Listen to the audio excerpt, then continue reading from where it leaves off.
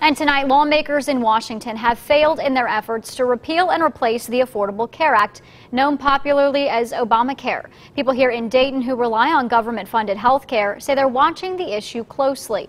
New at 6, 2 News reporter Dana Smith live with what people who rely on government-funded health care think about the ongoing matter. The ongoing healthcare debacle over in Washington is a big concern to people here in Dayton who rely on Medicaid. United Rehabilitation Services is an organization that serves people with severe disability, from newborns to the elderly. Its executive director, Dennis Grant, said many of these people rely on Medicaid for healthcare services. Efforts to repeal and replace the Affordable Care Act have failed, but Grant said the continued pressure by both the federal and state government to cut back on Medicaid is something he believes is a threat to the future of the people his organization cares for.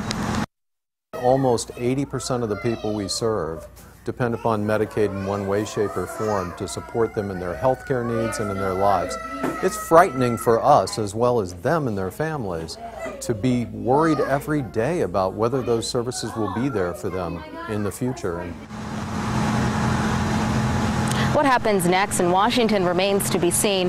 President Donald Trump has indicated he's going to wait for the Affordable Care Act to, quote, fail. Live in Dayton, Dana Smith, 2 News, working for you.